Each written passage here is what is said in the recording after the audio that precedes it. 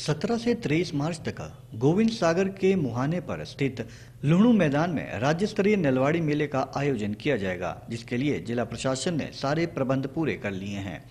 उपायुक्त बिलासपुर रोहित जम्बाल ने अपने कार्यालय में आयोजित पत्रकार वार्ता के दौरान कहा कि इस बार मेले के दौरान लोगों के मनोरंजन के लिए साहसिक खेलों का आयोजन किया जा रहा है।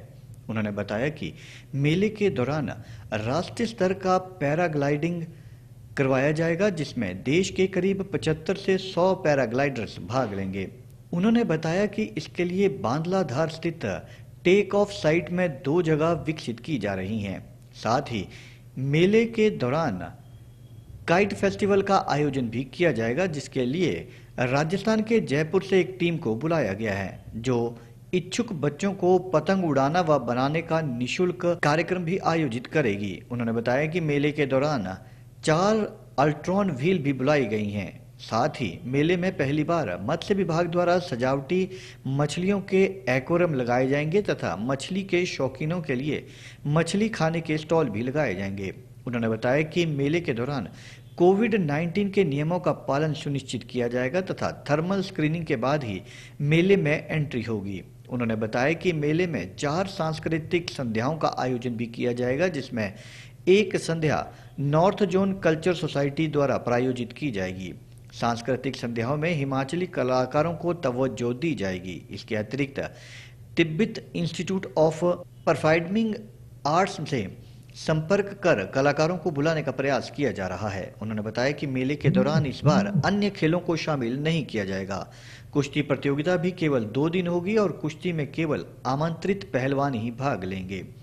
कुश्ती प्रतियोगिता के पहले दिन पहलवानों का कोविड टेस्ट करवाया जाएगा और नेगेटिव आने के बाद ही उन्हें कुश्ती में भाग लेने का मौका दिया जाएगा। उन्होंने बताया कि कोविड 19 के प्रोटोकॉल को सुनिश्चित करने के लिए 50 स्वयंसेवी तैनात किए जाएँगे। साथ ही मेले के दौरान सफ़ाई व्यवस्था को बेहतर बनाने का प्रयास किया जाएगा। मेले स्थल में अस्थायी टॉयलेट्स भी लगाए जाएँगे।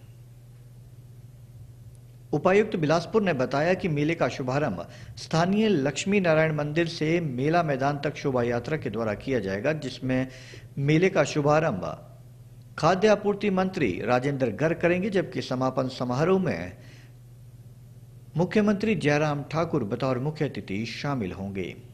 फुलवाड़ी मेला जो है इस बार, हर वर्ष की भांति हालाँकि पिछले साल ये नहीं हो पाया, पर जो डेट्स रहती थी, सत्रह से तेईस मार्च की, उसके बीच में जो है हर्षोल्लास के साथ मनाया जाएगा।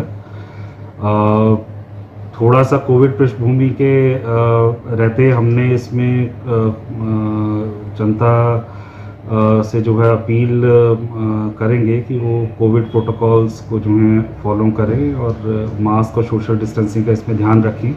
परंतु जनता के लिए जो है इसमें तमाम टाइप की जो है रोचक एक्टिविटीज़ रहेंगी। छिंज का आयोजन भी जो है किया जा रहा है, जिसमें जो है स्थानीय हिमाचल के और राष्ट्रीय स्तर के जो हैं पहलवान जो हैं आमंत्रित किए जाएँगे।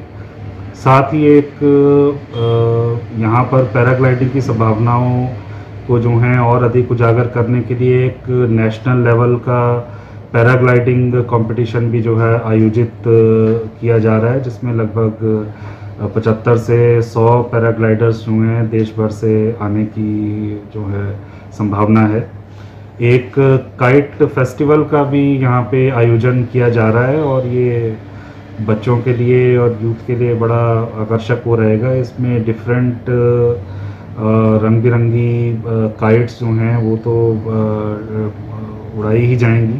साथ में कैसे पतंग बनाई जाती है और उसको कैसे उड़ाया जाता है तो जो इच्छुक लोग होंगे, वो भी इसमें जो हैं सीख सकते हैं। तो ये यात्रा भी जो है, लक्ष्मी नारायण मंदिर से जो है जैसे पिछले यस्टर ईयर्स में किया जाता है, वैसे ही उसी प्रकार से निकलेगी।